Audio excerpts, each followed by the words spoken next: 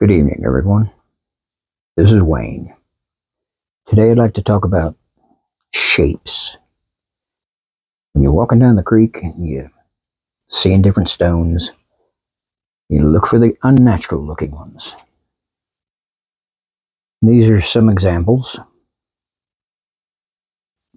Knives, per se. I have. These are knives.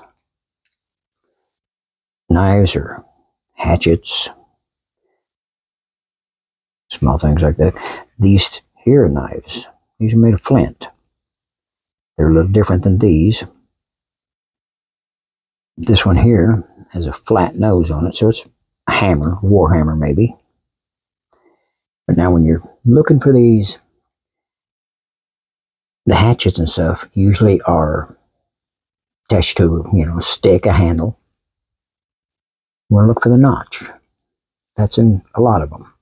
But then, like this, this hatchet here,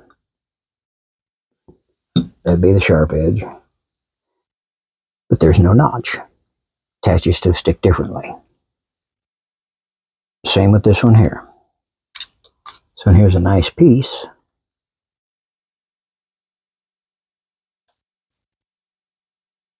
But everything has a certain shape to it, but then the same tool is can be very, very different.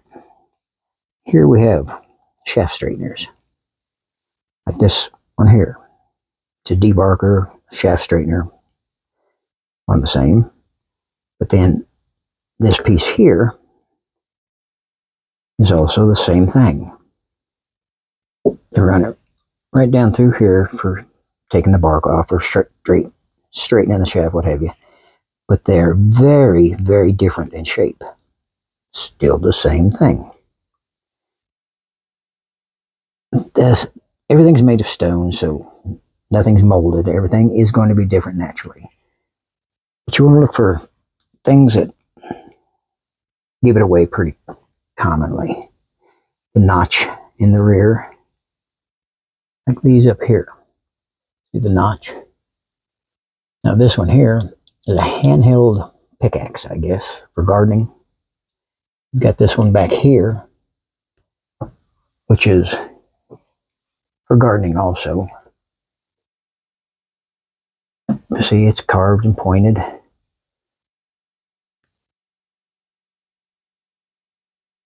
We've got some arrowheads.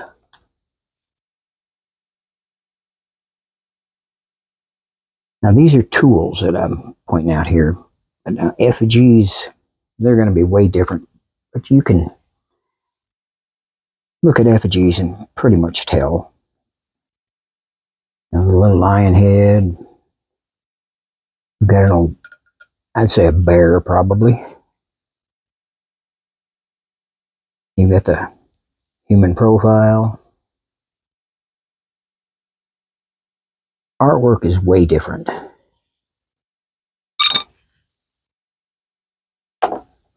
This piece here. Now, if I seen that in the creek, I might not do anything with it.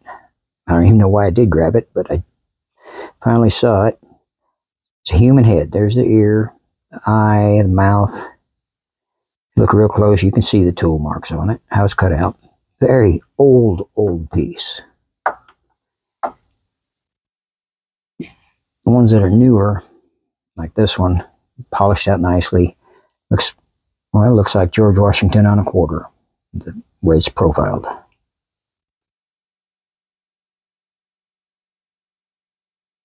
But anyway, what you're, you want to learn certain shapes. Once you get an eye for it, you can really see the unnatural of these artifacts. They're not Mother Nature made. You run across a pile of rocks like these here, and this one out here. This looks like a rock. But that shape,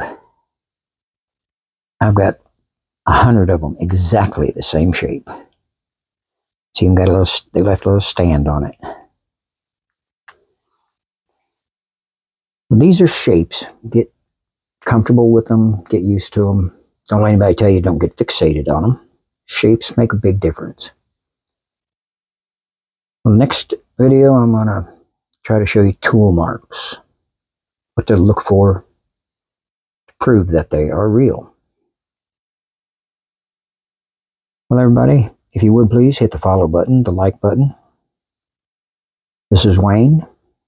I'll let you go. Y'all have a nice evening. Bye.